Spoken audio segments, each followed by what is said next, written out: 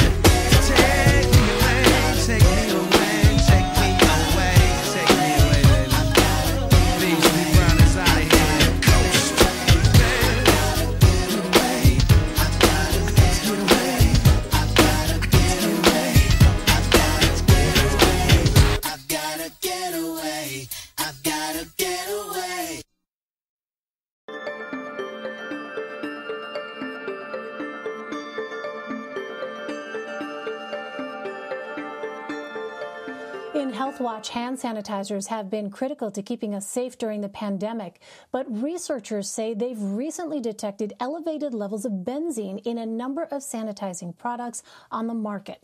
Benzene is a carcinogen known to cause blood disorders, including leukemia. The leading brand Purell and many others had no detectable levels of benzene. CBS News chief medical correspondent Dr. Jon LaPook reports.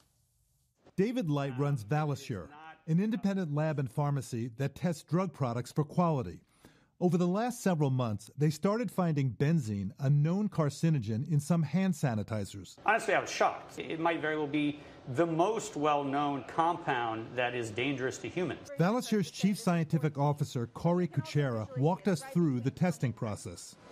So this peak represents the amount of benzene that's in this bottle. Correct. And that's high? That's high. In the early days of the pandemic, the FDA relaxed standards on benzene levels in liquid hand sanitizers, according to Dr. Leonardo Trasande. there was uh, an effort to really increase hand sanitizers and the availability. The FDA allowed liquid hand sanitizers to contain benzene in a concentration of up to two parts per million. Valisure tested hundreds of products for benzene. Valisure says of 260 products, 21 from 15 brands tested above the FDA interim limit. The top three tested between six to eight times higher than allowed. Batches of this sanitizer, with a baby Yoda on the front, contain nearly double the allowable amount. Attempts to get a response from manufacturer Best Brands consumer products were unsuccessful. CBS News found the product available on Amazon, who told CBS News it is investigating the products in question. There's no reason for that kind of a product to be on the market. Dr. Daniel Teitelbaum is an expert on benzene exposure. He warns benzene absorption could be increased in workers who use a hand sanitizer contaminated with benzene, then put on gloves that prevent evaporation. There are people who have special risks. It's a lot of healthcare personnel. It's a lot of cleaning and sanitation people. CBS News chief medical correspondent Dr. Jon LaPook joins me now. So, Dr. LaPook, Valisure filed a citizens petition. Has the FDA responded? Hi, Elaine. Um, you know, I spoke to them this afternoon, and they said they have received the petition, they're analyzing it, and they're not in a position right now to comment on it. But they said, look, we're going to get a lot of data together uh, before we make a comment, and uh, they're taking it very seriously, Elaine. Well, the FDA relaxed its standards on benzene at the start of the pandemic. Why did the agency do that, and how does benzene get into these products? You remember about a year ago, there was a, a, shortage of these hand sanitizers. I mean, you couldn't find them on the shelves.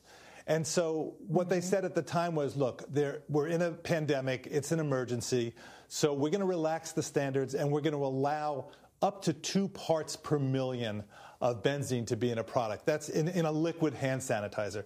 Um, that's still not all that much. Um, but what happens is that over the months that followed, uh, there really wasn't any policing of it. Nobody was really looking at these to see, well, how much benzene's really in. I mean, not on any kind of a of a rigorous, uh, comprehensive uh, level. So. Valisure, which is this company in, up in New Haven that is both a pharmacy and they also analyze the the uh, the drugs that they're selling.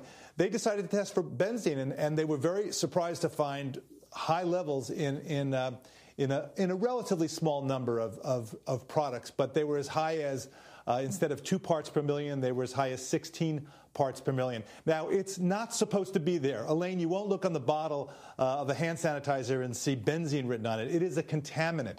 And I asked Dr. Daniel Teitelbaum, who's an expert on benzene and especially on, on, benzene absorption from the skin, I said, How does it get in there? He said, Well, one of the ways is that these companies, when they're making the hand sanitizer, they need alcohol.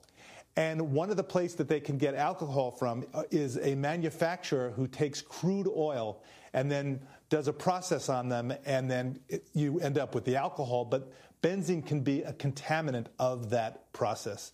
And that's one of the problems mm. here. I mean, most alcohol, he said, that you get, you know, in a drink is, is plant based, like from, from things like corn. The FDA has recalled hand sanitizers before. How can viewers find out if the products that they have at home have unacceptable levels of benzene or other harmful chemicals?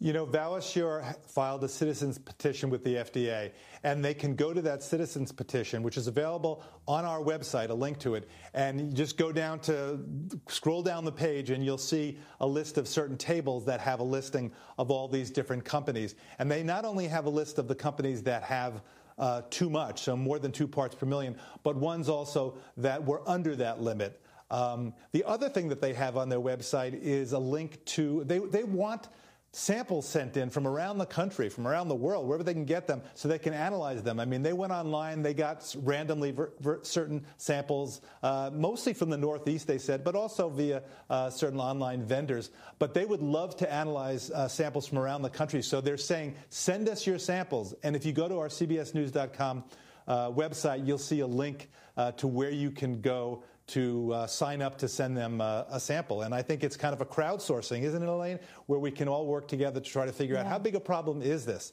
Because uh, we don't want to make too much of a deal of it. I mean, people I know can freak out thinking, oh my gosh, there's, there's benzene in there, and benzene can cause potentially blood problems, leukemia over long periods of time. Um, we don't want them getting overly concerned about it. As Dr. Teitelbaum said, um, it does take a lot of exposure over a lot, long period of time. But on the other hand, it is a serious concern.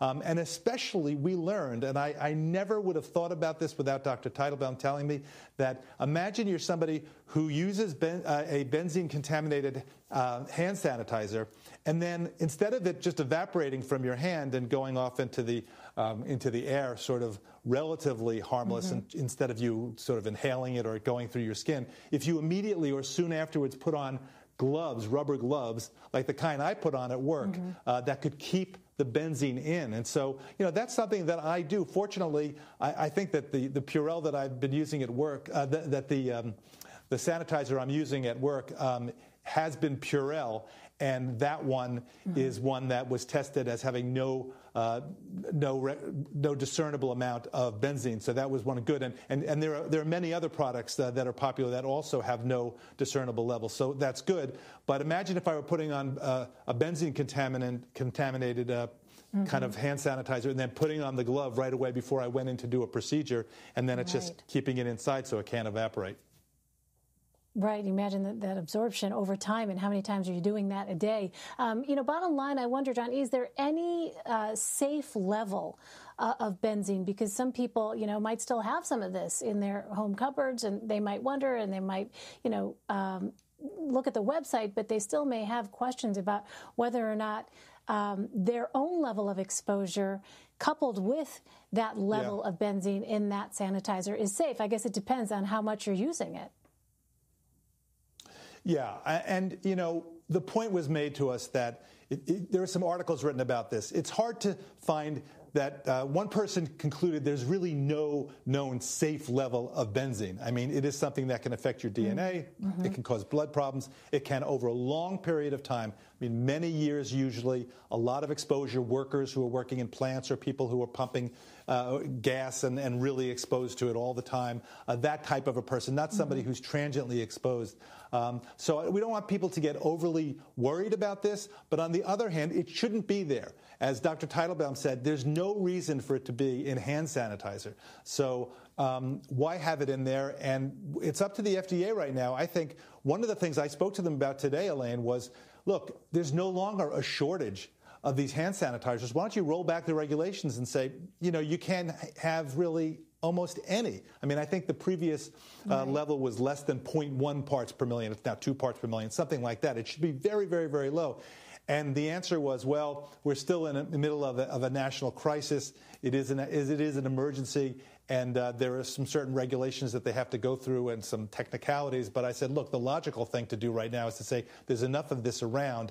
Um, why don't we just roll it back and say, look, you can't really even have up to two, mil, uh, two parts per million because um, it's not being adequately policed anyway. I mean, I think at the end of the day here, whatever the level it is that you set, Elaine, is that it's not being adequately policed. So who is it who's going to go in there and test these things and say, um, look, there's too much benzene in there, or too much of something else that we don't even know about. The FDA only has so many people that, that can do testing, and it's being left up to the manufacturers to do it for the most part, and then to you know report in mm-hmm. almost on the on the honor level. But what they're saying right now is, look, there's a problem, and we want you to go in there and uh, stop stop this from being sold. And in fact, that is what happened with the product um, that was selling uh, something with a logo that had a Yoda on it, and uh, it yeah. Uh, Disney said to them, look stop, take it off the market, uh, and we're going to do our own independent uh, investigation to try to see what the levels that an independent lab comes up with. And I think that was absolutely the right thing to do. I mean, if companies did that, right? Mm-hmm. You see there's a problem, they, they, they act on it, take it off the market for now, and then see if they can confirm it rather than saying, no, it's not a problem. The first thing in fixing a problem yeah. is recognizing that there is a problem. Right, but it all just underscores to me, Jon, um, why it is that reporting like yours is so critical, so people can even be aware of this in, in the first place. Because all of these steps that are, are, being taken, you know, the public might not know, um, but at least having the information about what is being done and what's being examined and why, I think, is really important when people are making their decisions about what to buy, what to use in their homes, what to allow their family members to use, especially as this pandemic is continuing. All right, Dr. Jon LaPook, really eye opening, uh, but as we said, we don't want to alarm people. Important, though, for consumers to have that information. Thanks so much, Jon. Thanks, Elaine. Take care.